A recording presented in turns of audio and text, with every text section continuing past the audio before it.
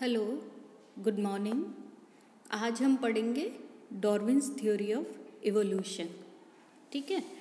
तो Darwin evolution now what is evolution basic idea जो evolution का था, जैसा कि सभी पुराने नेचुरलिस्ट ने देखे डॉर्विन थे लेमार्क थे, जो हमने अभी तक पढ़े हैं, इन लोगों ने ये ऑब्ज़र्व किया कि जो स्पीशीज़ जो अर्थ पर पाई जाती है, जो पॉपुलेशन एंड स्पीशीज़ किसी भी ऑर्गेनिज्म की स्पीशीज़ की पॉपुलेशन है, वो स्पीशीज़ की पॉपुलेशन के अंदर, उन स्पीशीज़ के अंदर, उन प्राणियों के अंदर धीरे धीरे धीरे धीरे समय के साथ में उनके अंदर चेंज आता है।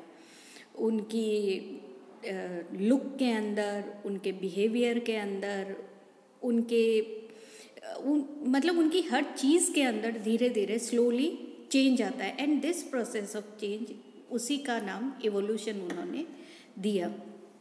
तो एक ब्रिटिश नेचुरलिस्ट हुए थे चार्ल्स डॉर्विन नाम के। उन्होंने इवोल्यूशन के बारे में काफ़ी अच्छे से अध्ययन किया और उन्होंने एक किताब लिखी थी, काफ़ी इन्फ्लुएंशियल एंड कंट्रोवर्शियल बुक थी ये on the origin of species नाम से एक किताब लिखी थी, जिसके काफ़ी कंट्रोवर्सी भी हुई थी इस किताब के बारे में। एंड इसमें जो बातें कही थी, गई थी, वो काफ़ी हद तक वो सही भी थी। ठीक है? तो डॉर्विन एक्चुअल में Darwin suggested the mechanism of evolution और उन्होंने दो थ्यो दो थ्योरीज दी थी, एक तो नेचुरल सिलेक्शन एंड एक दिया था उन्होंने ओरिजिन ऑफ़ स्पीशीज़ के बारे में उन्होंने बताया था डॉर्विन ने। तो डॉर्विन ही सेड उन्होंने कहा कि अगर हम जो प्रेजेंट डे स्पीशीज़ हैं, अगर हम इन स्पीशीज़ को suggested the mechanism for evolution natural selection in which heritable traits that help organisms to survive and reproduce become more common in populations over time उन्होंने कहा, उन्होंने देखो, ये एक तरह से ये पेड़ टाइप स्ट्रक्चर एक्चुअल में उन्होंने डॉर्विन्स ट्री ऑफ़ लाइफ कहते हैं इसको। इस तरह का उन्होंने स्ट्रक्चर दिया एंड उनकी ये व्यू थी कि अगर हम जो प्रेजेंट स्पीशीज़ हैं, उनको अगर हम स्टडी करें उनके पेरेंट कौन थे पेरेंट के पेरेंट कौन थे पेरेंट उनके पेरेंट कौन थे, इस तरह से अगर हम सभी स्पीशीज़ का स्टडी करें तो हम पाएँगे कि जितनी भी स्पीशीज़ हैं, इन सब के एक कॉमन एंसेस्टर थे। सभी स्पीशीज़ के जो मॉडर्न डे स्पीशीज़ हैं करीब करीब उन करीब करीब नहीं, सभी स्पीशीज़ के जो एंसेस्टर्स हैं, पूर्वज हैं, वो कॉमन थे। ये ट्री एंड ये इसके कारण हेरिटेबल और मैं के नेचुरल सिलेक्शन और इसके बेसिस पर उन्होंने थ्योरी ऑफ़ नेचुरल सिलेक्शन दी, जिसके अंदर उन्होंने कहा कि कुछ ऐसे ट्रेड्स ट्रेड्स मतलब कुछ ऐसे कैरेक्टर्स होते हैं जो ऑर्गेनिजम्स की ऑफ़ स्प्रिंग्स ऑफ़ स्प्रिंग्स मतलब कि उनके बच्चों में ट्रांसफ़र होते हैं। एंड वो ट्रेड्स जो होते हैं they are helpful and they help the organisms to survive and reproduce and slowly since they are helpful they become more common in population over time and slowly वो population के अंदर वो हमें generations uh, के अंदर वो हमें फिर वो ट्रेड्स जो होते हैं वो वेल इस्टेब्लिश हो जाते हैं धीरे धीरे करके। तो ये कुछ traits according to Darwin Darwin's theory of natural selection he said कि some traits they are heritable which help the organisms जो कि ऑर्गेनिजम्स को सर्वाइव करने के लिए, जीवित रहने के लिए एंड रिप्रोड्यूस करने के लिए, जनन करने के अंदर मदद करते हैं and they are common in organisms Darwin propose that species can change over time उन्होंने कहा कि स्पीशीज़ जो हैं धीरे धीरे उनके अंदर बदलाव आते हैं and new species come from pre existing one और जो स्लोली जो स्पीशीज़ रहते हैं अर्थ पर due to several factors environment के कारण और कई एडेफिक फैक्टर्स के कारण या कई दूसरे फैक्टर्स के कारण स्पीशीज़ के अंदर समय के साथ में परिवर्तन होता है। एंड ये परिवर्तन, अगर हम इन स्पीशीज़ को स्टडी करें तो ये सारा कॉमन होता है। एंड इन दिस मॉडल ये जो इन्होंने पेड़ दिखाया है, ये बता रहा है, इस पेड़ के अंदर दो डॉर्मिन को जेनेटिक्स के बारे में नहीं पता था। He did not know about genetics उनको जीन्स के बारे में नहीं पता था। लेकिन उन्होंने ये कहा था कि स्पीशीज़ के जो एंसेस्टर्स होते हैं, वो कॉमन होते हैं। और स्लोली विथ टाइम जो स्पीशीज़ आते हैं उनके अंदर स्लोली चेंज आता है। न्यू स्पीशीज़ जो आते हैं they come from pre existing one से नई स्पीशीज़ का फॉर्मेशन होता है। एंड uh, क्या होता है in new species repeated branching events in which there are repeated branching events in which new species split off from a common ancestor and produce multi level tree that links all the living organisms. क्या होता है कि उन्होंने ये एक तरह उन्होंने ये स्केच बनाया एंड हाउ इस स्केच के अंदर, इस डायग्राम के अंदर उन्होंने ये बताया कि कैसे एक स्पीशीज़ के अंदर जो कि अपने पेरेंट्स से अराइज हुई स्लोली उसके अंदर कोई चेंज आता है। चेंज आने से क्या होएगा? वो स्प्लिट हो जाएगी, दो के अंदर बढ़ जाएगी नई स्पीशीज़ एंड एक वो जो पुरानी जिसके अंदर कैरेक्टर है। फिर थोड़े टाइम तक तो वो जनरेशन चलती है, फिर से कुछ चेंज आ जाता है। फिर स्प्लिटिंग हो जाती है। तो इस तरह से क्या होता है कि स्पीशीज़ जो मॉडर्न डे स्पीशीज़ है, वो तो इस चार्ट के टॉप में, उस तो इस चार्ट के ऊपर हमें दिखाई दे रही है। And ancestors from which they arose that is shown in the lower part of the chart इसके नीचे वाले पार्ट में ही दिखाई दे रही है। एंड इसको डॉर्विन्स ट्री ऑफ़ लाइफ कहते हैं। एंड ये जो चेंज होता है, ये चेंज जो होता है, वो जो नई स्पीशीज होती है, उनको दे this change it is he said कि it is due to some heritable traits जो नई स्पीशीज़ के अंदर चेंज आया, वो चेंज जो होएगा, वो आगे उस स्पीशीज से जो ऑफ़ स्प्रिंग्स बनेंगी। उनके अंदर वो चेंज ट्रांसफ़र हो जाएगा।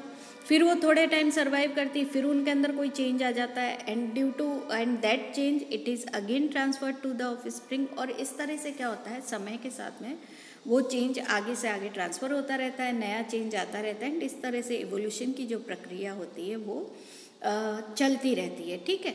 तो ऑन दिस बेसिस उन्होंने एक थ्योरी दी थी theory of natural selection Darwin actually he did not only propose that organisms they evolve लेकिन उन्होंने कैसे इवॉल्व होते हैं ऑर्गेनिजम्स कैसे इवोल्यूशन की प्रक्रिया होती है? उसको भी काफ़ी लॉजिकल तरीके से उन्होंने समझाया था। Darwin's concept of natural selection was based on several और ये उन्होंने अपने जो नेचुरल सिलेक्शन की जो थ्योरी दी थी, ये उन्होंने कई ऑब्जर्वेशंस के बेसिस पर ये थ्योरी दी। पहला ऑब्जर्वेशन क्या था? ट्रेड्स आर ऑफन हेरिटेबल उन्होंने कहा कि जो ये ट्रेड्स होते हैं, जो चेंज होते हैं, जो स्पीशीज के अंदर, ये traits they are heritable they are heritable मतलब they are transferred to the offspring in living organisms many characteristics are inherited और pass from parent to offspring living organisms के अंदर कई कैरेक्टर्स ऐसे होते हैं, कई ट्रेड्स ऐसे होते हैं, जो कि पेरेंट से ऑफ़ स्प्रिंग के अंदर ट्रांसफ़र होते हैं। अब उन्होंने उनको जीन्स के बारे में नहीं पता था, लेकिन ही न्यू कि some characters some something is there which is transferred from parent to offspring जिसके कारण की जो ऑफ़ स्प्रिंग है वो पेरेंट से थोड़ी सी रिलेटेड होती है एंड थोड़ी सी भिन्न भी होती है। More offsprings are produce than can survive दूसरा उन्होंने कहा कि जितनी ऑफ़ स्प्रिंग्स सरवाइव कर सकते जीवित रह सकते उससे कहीं अधिक मात्रा में ऑफ़ स्प्रिंग्स बनती है। ठीक है? तो organisms are capable of producing more offsprings than their environment can support जितने की आवश्यकता होती है, उससे कहीं अधिक ऑफ़ स्प्रिंग्स बनती है। और इसलिए क्या होता है? Thus there is competition for limited resources in each generation और इस कारण क्या होता है कि उनके आपस में कंपटीशन होता है। नेचुरल है, चीज़ें कम होएगी और उपयोग में लेने वाले ज़्यादा होंगे तो क्या होएगा? कंपटीशन होता है उनके अंदर कि, कौन चीज़ को उपयोग में ले सकता है, जो स्ट्रांग होएगा वो तो काम में ले लेगा एंड जो थोड़ा सा कमज़ोर होएगा वो नहीं ले सकेगा। तो इसी के बेसिस पे उन्होंने थ्योरी सर्वाइवल ऑफ़ फिटेस्ट का भी सिद्धांत दिया था हाइपोथेसिस दिया था। ना थर्ड उन्होंने कहा था, ये देखो ये ऑफ़ स्प्रिंग्स है, कितने ट्रेड्स कितनी डिफरेंट कलर्स की बटरफ्लाइज है अलग अलग कलर की है ना ये बटरफ्लाइज तो ये अलग अलग कलर की बटरफ्लाइज हमें ये क्यों दिखाई दे रही है? क्योंकि चेंज आ रहा है स्पीशीज़ के अंदर। ट्रेड्स के अंदर डिफरेंट ट्रेड जो हेरिटेबल ट्रेड्स है, उसके कारण कलर तो इनका कुछ तो पेरेंट से मिल रहा है। लेकिन फिर भी इनके अंदर कलर के अंदर चेंज आ रहा है एंड जितनी ज़रूरत है, उससे कहीं ज़्यादा ऑफ़ स्प्रिंग्स बनी हुई है। Then third is offsprings vary in their heritable traits उनके हेरिटेबल ट्रेड्स में वेरी करती हैं। The offspring in any generation will slightly be different from one another in that trait अपने अपने ट्रेड्स के अंदर कैरेक्टर्स के अंदर जो ऑफ़ स्प्रिंग्स बनती हैं, वो चाहे एक ही पेरेंट से बने, लेकिन फिर भी वो अलग अलग होती है। चाहे उनका कलर डिफरेंट हो ये देखो सेम पेरेंट है बटरफ्लाइज के, लेकिन फिर भी देखो, सारी एक कलर की नहीं है। उनके कलर के अंदर साइज़ शेप एक्सेट्रा कई फीचर्स ऐसे होते हैं जिनके अंदर की वो ऑफ़ स्प्रिंग्स एक दूसरे से डिफर करती है वेरी करती है। And these features will be heritable और ये जो भी फीचर्स इनके अंदर होते हैं, वो आगे इनके डॉटर प्लांट्स के अंदर या डॉटर स्प्रिंग्स के अंदर ये ट्रांसफ़र होते हैं from parents to offsprings now based on these simple observations in observations के बेसिस पर डॉर्विन ने यह कंक्लूजन निकाला in a population some individuals will have inherited traits that help them to survive and reproduce एक population के अंदर, किसी भी पॉपुलेशन के अंदर, कुछ इंडिविजुअल्स के अंदर, जिनके अंदर इनहेरिटेबल ट्रेड्स होते हैं मतलब कि पेरेंट के कैरेक्टर्स उनके अंदर आते हैं तो वो जो ट्रेड्स इनहेरिटेबल होते हैं, वो उनको सर्वाइवल के अंदर एंड रिप्रोडक्शन के अंदर मदद करते हैं।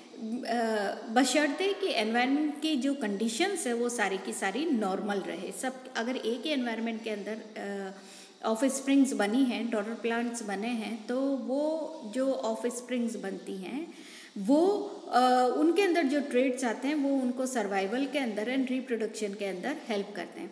The individuals with helpful traits will leave more offsprings और वो इंडिविजुअल्स जिनके अंदर ये हेल्पफुल ट्रेड्स पाए जाते हैं वो ज़्यादा रिप्रोड्यूस करते हैं ज़्यादा ऑफ़ स्प्रिंग्स बनाएँगे देन देर पियर्स या अपने साथियों के मुकाबले ज़्यादा ऑफ़ स्प्रिंग्स बनाएँगे। एंड ज़्यादा बनेगी तो क्या होएगा? वो कैरेक्टर ज़्यादा में स्प्रेड होएगा एंड धीरे धीरे फिर वो उनके डॉटर प्लांट्स के अंदर और ज़्यादा स्प्रेड होएगा एंड धीरे धीरे क्या होएगा वो कैरेक्टर पूरी पॉपुलेशन के अंदर इस्टेब्लिश हो जाता है। तो इस तरह से स्लोली ग्रेजुअली जो इवोल्यूशन होता है वो प्लांट्स के अंदर एनिमल्स के अंदर होता है स्लोली इस प्रक्रिया के द्वारा होता है आ, आ, इनके अंदर ऑर्गेनिजम्स के अंदर ठीक है? Now because helpful traits are heritable and because organisms with these traits more leave more offspring the traits will tend to become more common in next generation जैसा ये कहा कि ये हेल्पफुल ट्रेड्स जो होते हैं, जो कि और ऑफ़ स्प्रिंग्स में ट्रांसफ़र होते हैं and they help in the reproduction and survival तो ये ट्रेड्स जो होंगे नेक्स्ट जनरेशन के अंदर मोर कॉमन होंगे and over generation they will become established in the entire population ठीक है? देन नेक्स्ट उन्होंने दिया था origin of species eight Darwin ने क्या किया था कि उन्होंने गैल्पेगोस आइलैंड एक ना, एक जगह है गैल्पेगोस आइलैंड वहाँ पर उन्होंने वाइल्ड लाइफ की स्टडी की।